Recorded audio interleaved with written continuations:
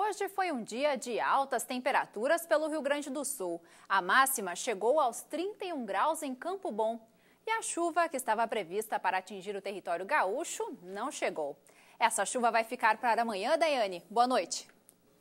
Boa noite. Sim, Lívia, é isso mesmo. A área de instabilidade que está na Argentina se deslocou para o Paraguai, então vai chegar um pouco atrasada ao estado. Mas essa chuva chega ao oeste amanhã e pode vir acompanhada de temporais isolados. O dia segue bastante abafado em todo o Rio Grande do Sul. Aumento de nebulosidade na região metropolitana. Os termômetros marcam 28 graus em Porto Alegre. Pancadas no decorrer da tarde no litoral sul. A mínima é de 17 graus em Rio Grande. A sexta-feira vai ser de poucas nuvens na região da Serra. Faz 23 graus em Vacaria.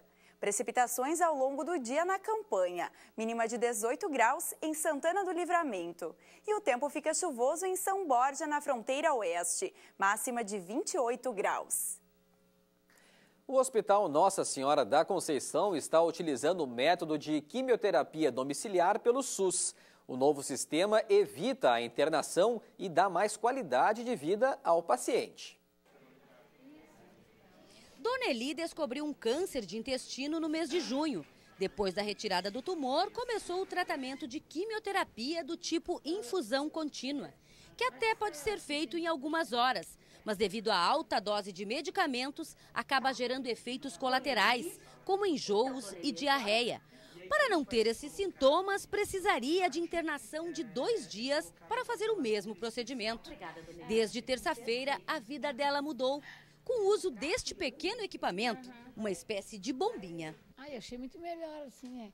Aí eu estou em casa, junto com a família, televisão, como da comida de casa, não corro o risco de infecção estar no hospital. Eu tinha um pouco mais de enjoo, só aí, um pouquinho de diarreia, agora não, não tenho. Não tenho sentido quase. Enjoo muito pouquinho. O plano ainda é piloto, mas o oncologista clínico Gustavo Alves diz que os pacientes já aprovaram e que a expectativa é estender para outros tipos de câncer até o final do ano. Então nós temos o benefício em termos de ter um custo menor, de liberar leitos uh, dentro do hospital e fazer com que os pacientes fiquem menos expostos aos riscos de uma internação, principalmente infecções hospitalares por germes mais resistentes, que é um grande problema dentro dos hospitais terciários, e o paciente ter menos para efeito e poder manter as suas atividades do dia a dia. O procedimento não é novo, já é utilizado há bastante tempo em pacientes da rede privada. Mas pelo SUS, o Hospital Conceição é um dos primeiros do estado a disponibilizar os infusores portáteis. Os benefícios são muitos, mas para o paciente, o principal é a liberdade. Eu posso ir no lugar que eu quiser, com a, com mamadeira, como a chama. Eu posso sair, vou ao mercado, vou na casa da minha filha, vou à casa de amigos. Posso para onde quiser ir, eu posso ir. Não tem problema nenhum.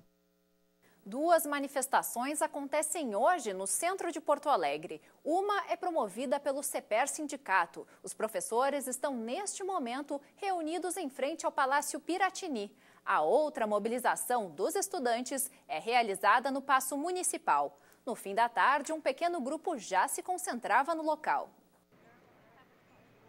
Eles se organizam pelas redes sociais e marcaram para hoje manifestação em frente à Prefeitura de Porto Alegre.